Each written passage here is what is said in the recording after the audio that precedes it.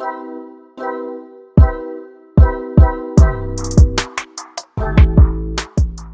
Twitter पर करी कंगना ने वापसी। जी हाँ दोस्तों, जहाँ एक तरफ़ पठान इंडिया के साथ साथ वर्ल्ड वाइड में भी धूम मचा रहा है, वहाँ बॉयकॉट गैंग थोड़ा ठंडा पड़ गया है। लेकिन कंगना की आवाज़ यहाँ बुलंद हो रही है।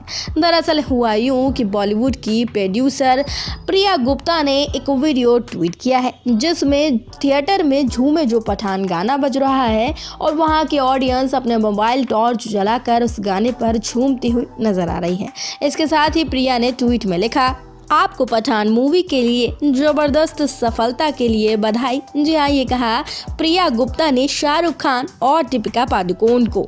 प्रिया ने अपने ट्वीट में आगे कहा, इससे ये साबित होता है कि हिंदू हो या मुस्लिम, दोनों ही शाहरुख खान को बेहद प्यार करते हैं। और दूसरा, बॉयकॉट विवाद ने फ़िल्म को नुकसान नहीं, बल्कि फ़ायदा पहुँचाया है। तीसरा, ये कि एरोटिका और अच्छा म्यूज़िक भी इस फ़िल्म में काम आया। और चौथा ये कि भारत सुपर सेक्युलर है। अब इसी को रीट्वीट करते हुए कंगना रनौत ने लिखा। कंगना ने लिखा, बहुत अच्छा विश्लेषण।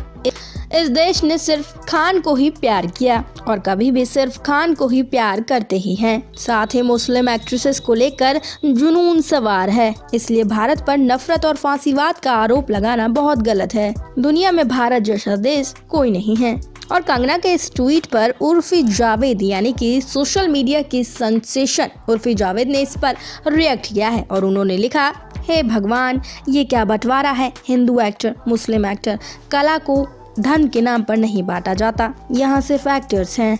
वेल well, ये तो हम सब जानते हैं। कंगना रनौत एक के बाद एक लगातार ट्वीट करती हैं और कहाँ रुकने वाली हैं। उन्होंने उर्फ़ जावेद को इस रीट्वीट करने के बाद फिर इस पर रिट्वीट करते हुए लिखा हाँ मेरी प्यारी उर्फी ये एक आदर्श दुनिया होगी लेकिन ये तब तक पॉसिबल नहीं है जब तक हमारे पास यूनिफॉर्म सिविल कोड नहीं है। आइए प्रधानमंत्री से साल 2024 के मैनिफेस्टो में सभी सम्मान नागरिक संहिता की मांग करें। क्या हम कर सकते हैं? वेल well, अब कुछ कहा नहीं जा सकता कि उर्फी जावेद और कंगना रनौत की ये कैट फाइट कहाँ तक जाएगी। तो दोस्तों क्या कहना है आपका इस वीडियो पर? ये आप हमें कमेंट करके कमेंट बॉक्स में ज़रूर बताएँ। और हर अपडेट के लिए बने रहिए हमारे चैनल के साथ। देखते रहिए हमारा चैनल इंडिया ट्रेंडिंग न्यूज़ और हमारे चैनल को सब्सक्राइब करना ना भूलें। धन्यवाद।